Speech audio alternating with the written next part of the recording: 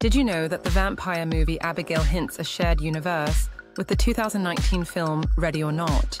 In one of the mansion scenes, there's a portrait of a man who appears to be distant ancestor of Tony Le Domas, the patriarch from Ready or Not.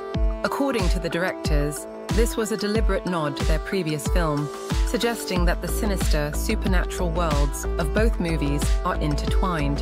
This opens up possibilities for future crossovers between these two films from the production house Radio Silence.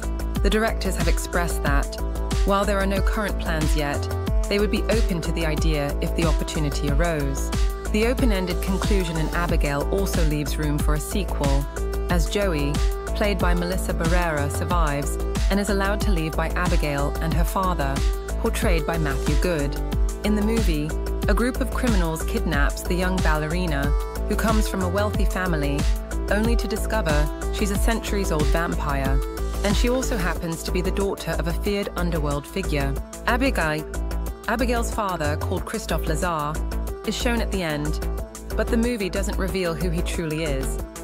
Aside from being a vampire who fronts as a feared gangster boss, Lazaar is introduced as a powerful crime lord whose name alone strikes fear into the hearts of even the most hardened criminals.